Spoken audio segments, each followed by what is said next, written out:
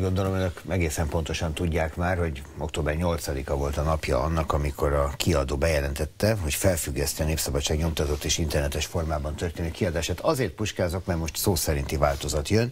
A lap új koncepciójának kialakításáig, illetve megvalósításáig azért, hogy valamennyi érintett ezen a területen kiemelt feladatára tudjon koncentrálni. Pető Péter főszerkesztő helyettes, a Népszabadság című újság főszerkesztő helyettese. Remélem erős koncentrálás közepette. Jó reggelt kívánok, szervusz! Jó reggelt kívánok! Igyekszem koncentrálni. Mire koncentráltok ti most? Tehát tudom a túlélésre, persze ezt, ezt értem, de ez micsoda ez a közlemény? A, erről már, én most egyébként nem emlékeztem erre a mondatra, de a koncentráció jelenleg nem arra irányul, hogy a az új, új koncepció próbáljon kialakítani, ugye nincs olyan van új koncepció? Nincs olyan napilap, amelynek az a koncepció nem jelenik meg.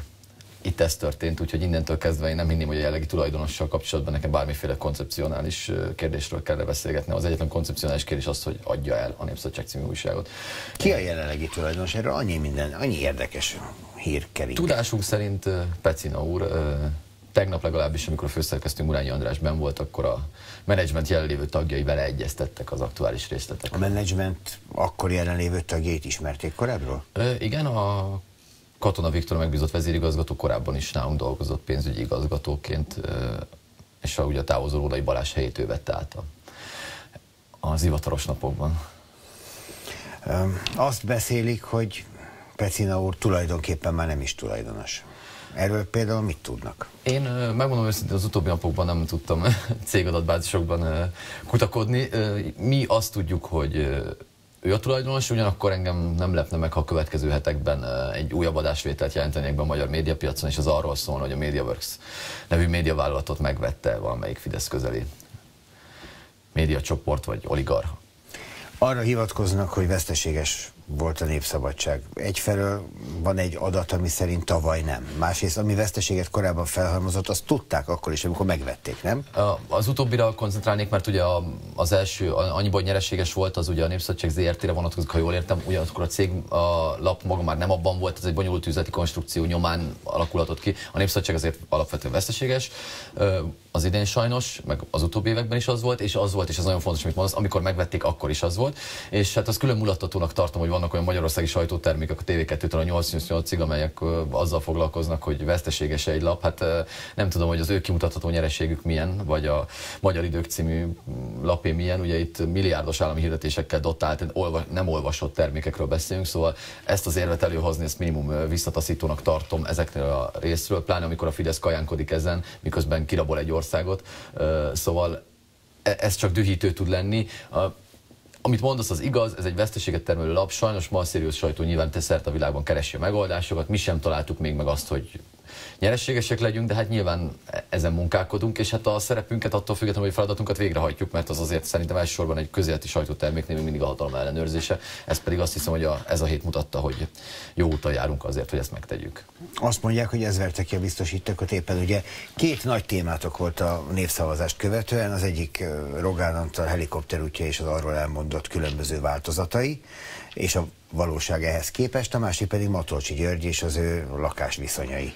Igen, hát ugye van egy, van egy, ha ez egy ország, nem pedig vidámpark, akkor ma valószínűleg én azért ülök itt, mert a Matolcsi György távozott a jegybankéléről, és a Népszabadságot pedig ünnepeljük azért, mert hogy kitúrta azt így a történetet. Lennie, úgy gondolod? Azt hiszem, egy országban ez így történik, egy Fideszes vidámparkban nem így történik. Most azt látjuk, hogy én azért ülök itt, mert a Népszabadságot bezárták, Matolcsi György pedig a helyén van azok után, hogy kiderült, hogy a Bankszövetség elnökénél nek lakását használja, illetve az Unicredit milyen további pozitív elbírálásban részesült, vagy részesülhetett sok esetben a jegybank részéről. Az, hogy elhallgatották a lapot, az azt is jelenti, hogy voltak még történeteitek, amikről tudhattak, hogy vannak történeteitek, amik nem jelenhetnek már meg? Ö, nem, én abban a verzióban nem hiszek, hogy tudták volna arra, hogy mire készülünk. Ugyanakkor kétségkívül alapos előkészítésre, vagy az e-mailjénkhez jelenleg nem férünk hozzá, tehát nagyon sok információnk, összeezett információnk sajnos ö, oda lett a jellegi állás szerint, bár nem, nem tekintjük ezt az állapotot véglegesnek, de készülnek olyan anyagaink, vagy vagy, vagy vannak olyan információink, amelyek, amelyek még fájhattak volna, vagy fájhatnak a hatalomnak, ez kétségtelen. Mármint főleg azoknak, akik visszaélnek a hatalommal, azoknak fájnának természetesen. Egyrészt eléggé cinikus, hát talán lehet használni ezt a kifejezést, hogy aljas módon bocsánat ért, hogyha valaki ezzel nem ért egyet, nekem ez a véleményem, játszottak ki benneteket, bedobozoltatták a saját holmitokat, mert hogy költöztök, elvitették a saját holmitokat valahova, és nem költöztök sehova. Hát a Ajastnál azért nem tudok durvább jelzőt mondani, mert most a, már fáradt vagyok, és egy kicsit szűk lett a szókincsem, de én még durvábbnak találom talán az eljárás. A pénteken én voltam a szerkesztő, én 11 óra után távoztam, hogy a Magyarország-Svájc meccs volt, az még azzal dolgoztunk. Én az utolsó között távoztam a házból, amikor jöttek a költöztetők, ott a dobozainkat elpakolták. Én még ráírtam a kis babzsákomra pontosan a számot, hogy a jó helyre kerüljön majd az új helyen, az azonosító számot. Senki semmilyen jel nem volt arra, hogy ne, vasárnap ne kellene kezdeni munkát, hogy rendben van a pizza rendelés, hogy köszöntsük a régi új székházunkat, a Bécsi utat, tehát egy szürreális volt az egész helyzet, az, ezután szürreális volt az, hogy szombat reggel engem Hegyi Iván hívott uh, azzal, hogy tudok-e valamit hozzá, akkor már megérkezett a futár, én pedig gyanútlanul álltam, és hívott, hogy nagyon nagy baj van. Megmondom őszintén, először azt hittem, hogy Lichsteiner rosszul írtam le a, végül a, a, az összeállításban, és súlyosabb volt a probléma, mint hogy addig. Mit hozott a futár? Mert van, aki ez nem érkezett futár. Hát én még nem találkoztam vele. Én vidékre utaztam, ugyanis még péntek éjszaka onnan jöttem vissza szombat reggel, engem nyilván itt Budapesten keresett, úgyhogy még lehet, hogy a városban motorozik, bár ennek ellentmond, hogy végül vasárnap délelőtt megtaláltam ezt a borítékot a postaládámban. Mondom, én személyesen nem vettem át, tehát a postában volt.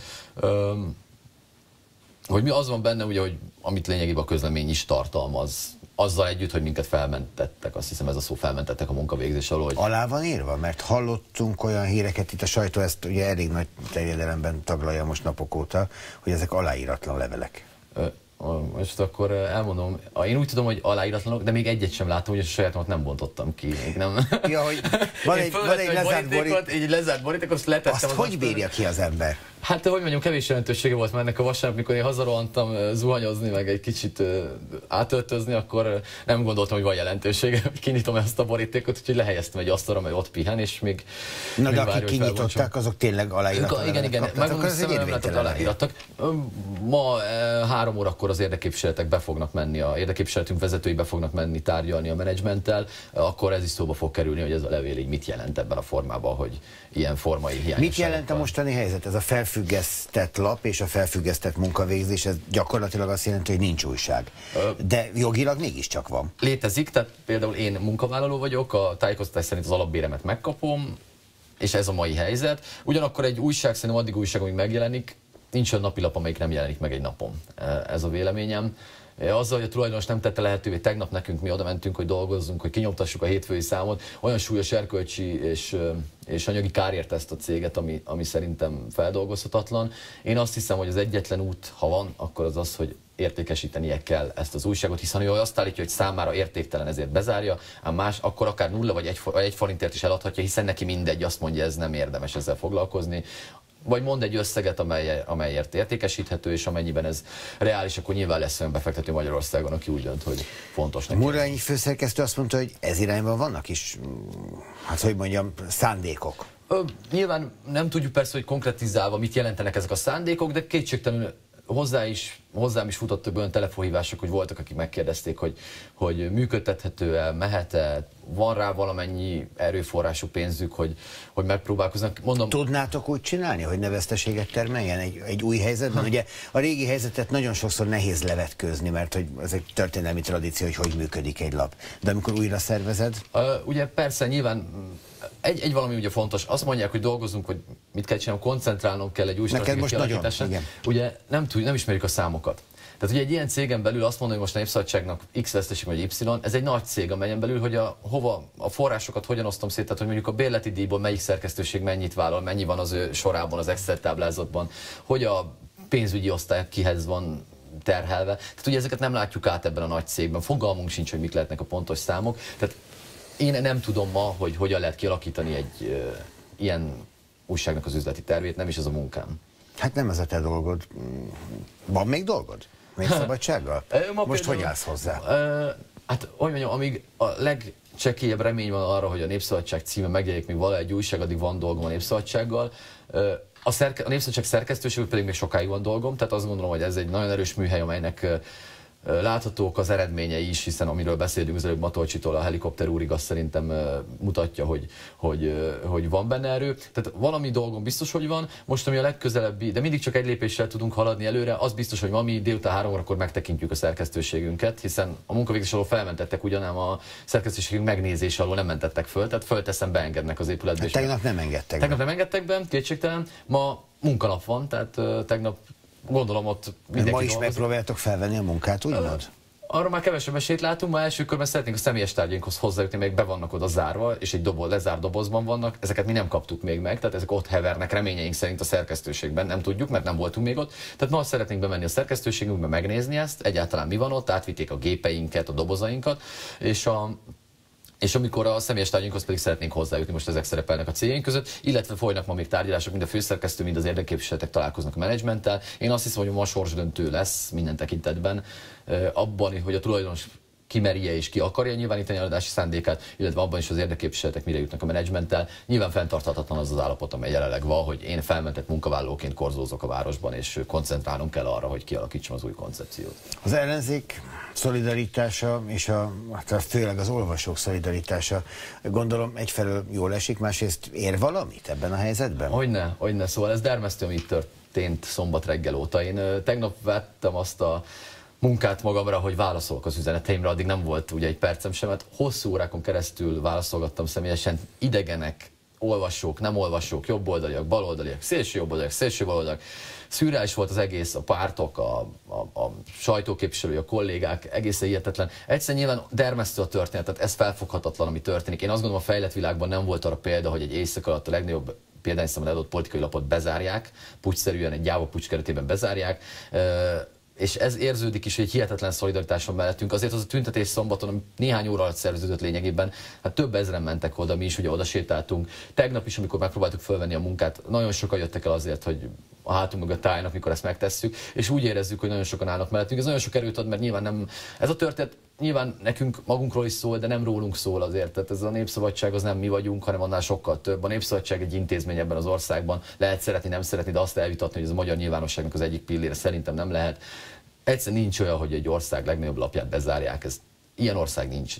Látom, hogy van, de hogy elvileg nem lehet, és én azt hiszem, hogy sokszor mondtuk, hogy itt a vége, elértük a határat, átléptük a vörös vonalat, nem tudom, kell lenni egy vörös vonalnak, mert ha nincs, akkor tényleg fölösleges országként viselkednünk, akkor valamit ki kell találnunk helyette, amivel elszórakoztatjuk magunkat itt. De valamit nem a szórakozás jegyében, hanem a munkátok érdekében nektek is ki kell találni. Mi van, ha nem lesz népszabadság? Ö, ma, ezért mondtam, hogy sorsdöntő nap a mai. Ö, ha ma ö, úgy áll a helyzet, hogy az tulajdonos nem nyilvánítja kiadási szándékát, tehát nem kezdődnek ebbe az irányba lépések, és a munkáltató, munkavállalói érdeképviselet sem jut egyességre, akkor délután újra összülünk, és már egész nap együtt lesz a szerkesztőség ma is, de már dolgozunk, ami azt jelenti, hogy amennyiben nem jutunk előre, akkor én egyáltalán nem lennék meglepődve, ha holnaptól olyan cikkek jelennének meg magyar világhálón, amelyeket akár mi is írhattunk volna, és akár a mi lapunkban is megjelent volna olyan színvonalúak, tehát olyan híreket kaptunk, hogy készülnek ilyen típusú szövegek. Sorok között mi megtanultunk már sokan olvasni, most a mondatok között a hallás alapján is igyekezzünk. Pető Péter, köszönöm szépen, minden jót neked is, és a kollégáidnak is. Köszönjük szépen.